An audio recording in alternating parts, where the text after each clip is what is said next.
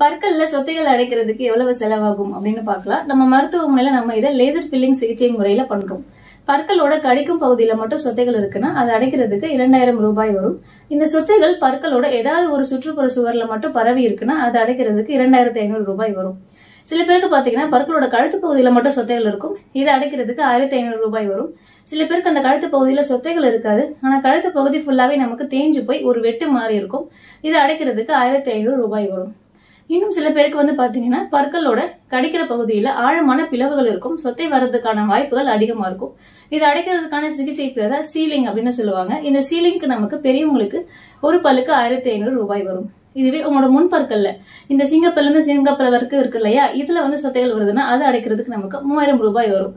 ஏன்னா இது முன்பற்கள் அப்படிங்கறதால நமக்கு அழகு பகுதியில வருது. இதை நம்ம ஸ்மைல் டிசைனிங் சிகிச்சை முறையில சரி பண்ணிக்கலாம்.